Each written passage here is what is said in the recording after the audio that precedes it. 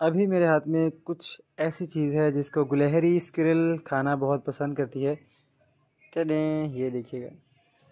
अभी आएगी और ये आ गई। ये है सेरेलैक और सेरेलैक को स्क्रिल्स बहुत पसंद करती हैं खाने में। अभी देखिएगा, मैं इसको भगाने की कोशिश करूँगी, ये भागेगी नहीं। ये देखिएगा ये देखिएगा। फिर मैं कोशिश करता हूँ, ये नहीं भाग रही। भाग जाओ भाग जाओ। ये देखिए फिर आएगी। ये देखिए।